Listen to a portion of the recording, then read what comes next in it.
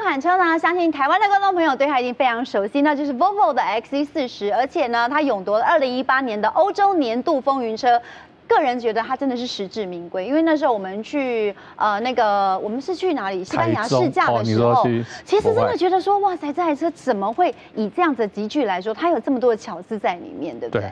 我觉得进来的 Volvo 它的设计真的是让人眼睛为之一亮，别的都不要说，以这台车我们第一眼看到就是这个颜色，用色好大胆，搞不好是进过棚里面最特别的颜色了吧？是的，对，它居然能把。以前我们都觉得 Volvo 刚刚硬硬的，很阳刚，很 man。对。然后配上了这么的粉色调的颜色上去以后，其实真的是让人眼睛为之一亮。嗯。啊，也因此就因为这个颜色柔和许多嘛，我们看到本来像雷神之锤的头灯，还有直瀑的那个大型的水箱护罩，这些特质，再加上它其实是比较走方方正正路线，厚实的板件的感觉，本来会觉得这个车就是男生在开的。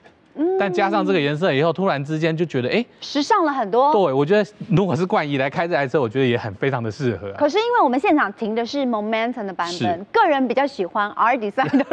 这个我们刚刚有争论过了。对，我是比较喜欢 Momentum，但是因为比起来的话，R Design 顾名思义，它一定更加运动，是的，圈更大，然后整车的它是黑车顶嘛，配上以前那些比较传统的颜色以后，看起来更加的动感。但是现在 Momentum 配起来以后呢，我会觉得整个车让它的那个阳刚气柔和了许多。嗯，那因为我们有看到这个车子像是板件呐，像是折线呐，甚至是 B 呃 C 柱跟 D 柱那边的那个切角的感觉，它都是比较厚重的。嗯，那这样子的。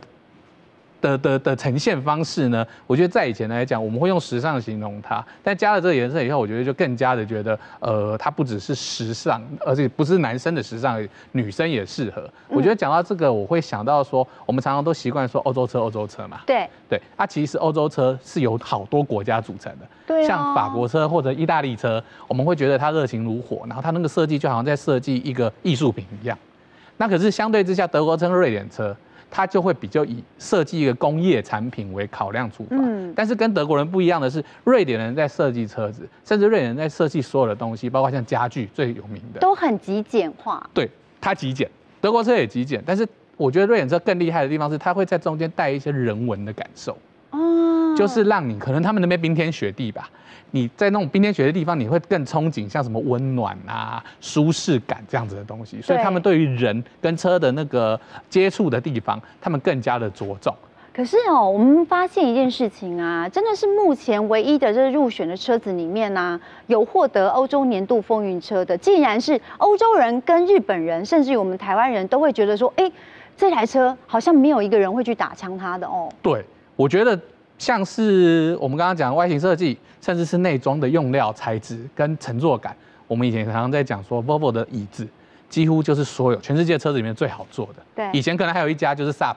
但是那也是瑞典车，所以他们真的是很会做家具。嗯，除此之外呢，Volvo 一直给人家安全的形象嘛。这绝对不是浪得虚名的。以现在最新时代的来讲，它半自动驾驶系辅助系统，包括像车道偏移控制啦，包括主动跟车啦，这些应有尽有的。所以你想得到的、想不到的，甚至在车内，像刚刚有讲到，像是手机的无线座充。呃，应该是无线充电系统，还有很多置物的小空间呐，这种很 friendly、很友善的一个界面，我觉得都是它非常强势的地方。再加上不要忘记了，它怎么说也还是一颗二点零涡轮增压的车子。是的，它的马力到一百九十匹哦，扭力三十点六公斤米，零到一百加速八点四秒。虽然不算是这个等级最快的，因为其实它车很重。刚刚讲了很多，所以把所有东西都加上去以后，这个车就将近大概一吨七左右。嗯，在这个集距是比较重的，所以它的加速的感觉呢，前面是有一点点的迟滞啦。然后加上它整体的设计其实是比较呃舒适导向。嗯，虽然说现在我们这种爱开车的人来讲，可能会觉得说在弯里面它有点没有那么的像等下看到的 X2 那么的灵活，但是。我觉得这样子的车子反而更适合我们一般台湾家庭使用 SUV 或 SUV 的人，他们所想要的那种，就是呃舒舒服服带着全家人一起出去玩又安全的那种感觉。我想，其实 Volvo XC40 能够入选为日本的年度风云车，应该就是它各方面的表现都是非常的均衡。